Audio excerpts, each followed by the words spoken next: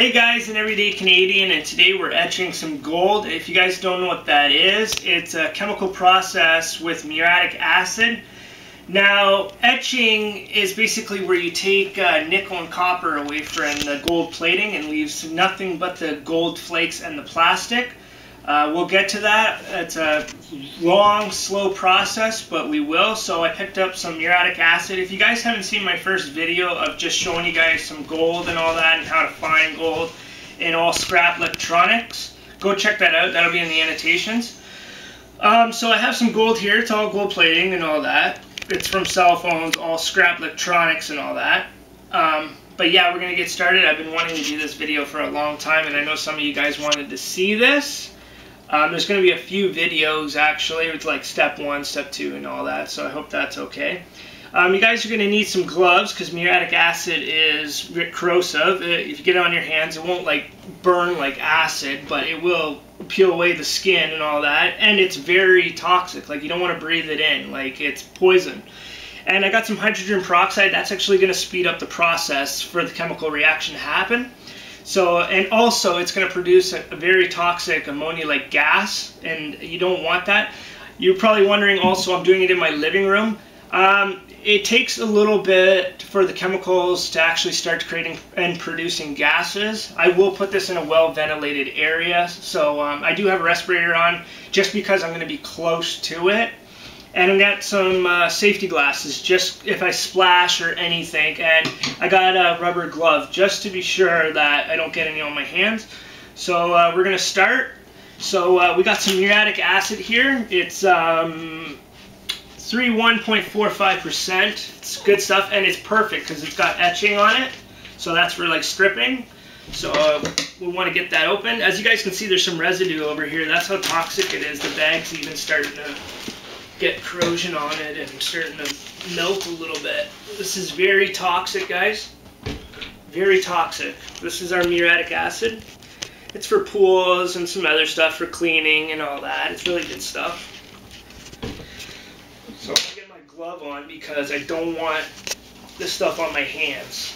I don't want to be getting sick or anything 10 years down the road. So uh, open that up. And uh, First thing you want to do too, get that open, actually just set your lid right there. I just want that on there. So we got our gold. That'll be uh, in the annotations, part one. So check that out, guys. It's a cool way to get gold, cheap and free. And this is just a small batch, like it honestly is. There's some gold plating right there. This is going to be a small batch. These are from cell phones. I think it is, if you guys know the answer to this, put in the comment section. It's uh, 5,000 cell phones is about $250,000 in gold. Um, I'm pretty sure it is. I'm almost certain that 5,000 cell phones. That's why it takes a lot of gold. Like this isn't going to make a lot. So, um, but I'm just doing it to show you guys in the future if you guys want to try it yourselves and you guys have all the materials and stuff to do it or you can get this stuff like practically anywhere or any hardware store. Maybe even a friend that has it, you know, can hook you up. So you take all your gold little pieces and all that, your gold plating. So, so if you guys have like SIM cards and all that too, it's got gold plating on it. Um, like there's a SIM card, it's got gold plating on it. Now I have a, a fair amount of gold here like I do.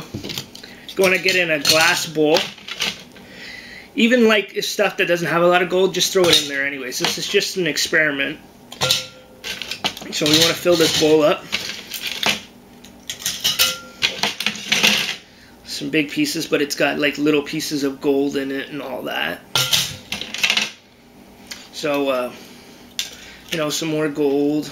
These are just circuits. You guys can find them in computers, electronics, cell phones, all that stuff. So if you guys ever recycle your cell phone, don't. Just put it aside. Look at it as an investment. So up here. So um, we're going to get this. Sean's my cameraman tonight. So uh, yeah. So uh, we'll dump the rest of this stuff in here. Just don't want to put any plastic or anything in there because you guys are going to be uh, screening it anyways. It's going to go through a filter process and all that, so there's some copper in there. So etching is, is a circuit, basically, that's got gold, nickel, copper, and some other uh, metals in it. Um, basically, what happens is a chemical uh, goes underneath and uh, floats all the gold uh, plating off of it, and you're going to get left with the gold shards. Now, some of you are probably going to be asking me that it's not pure gold or whatever. There's other metals in it. Um, the more you melt it, you're going to lose some in the future, but you know it's a sacrifice you make when you're doing this. Um, you're going to lose some, but it'll be worth it in the end because you know you're going to make whatever you want during the melting process. So we got some gold. I want to make sure I get it all in there. Don't worry if there's plastic already in there. You guys are going to be screening it anyways. So you want to start by getting your uh, hydrogen peroxide. There is no real ratio, but you want to add your hydrogen peroxide first. It's going to act like a catalyst, so it's going to speed up the process. Just cover all the circuits. Now you're going to be adding more muriatic acid than your hydrogen peroxide. So when this happens, you're going to start getting chemical reactions. So you want to actually have a respirator or do this outside. So uh, we'll get started.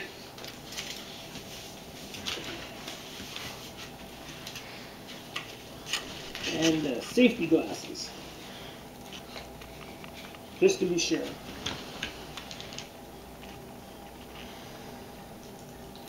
See that?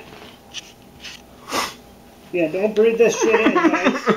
the dog should be outside. It's smoking. Get up in here.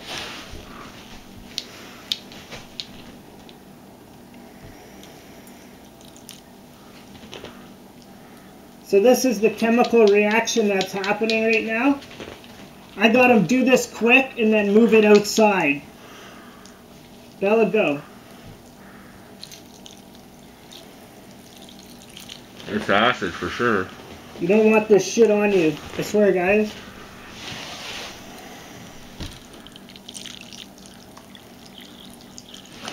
Don't let this get on you, man. Get back.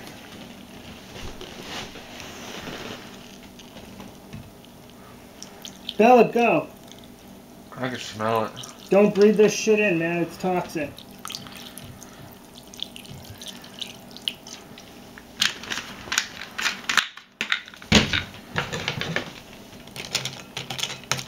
Now you guys, look up here.